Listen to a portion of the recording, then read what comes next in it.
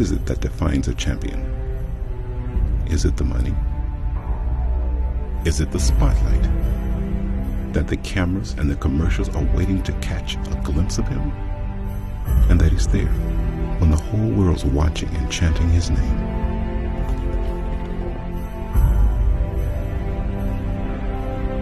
What is it that defines a champion?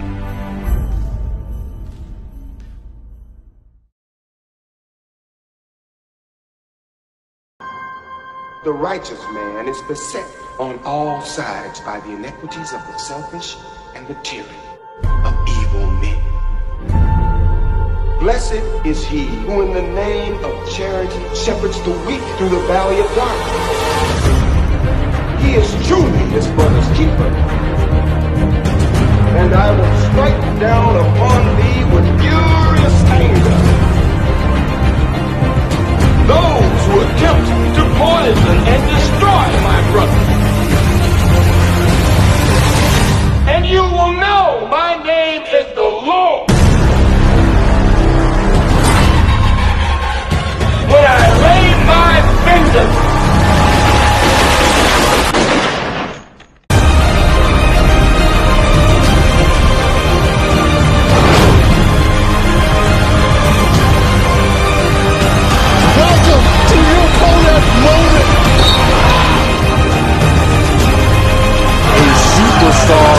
the making.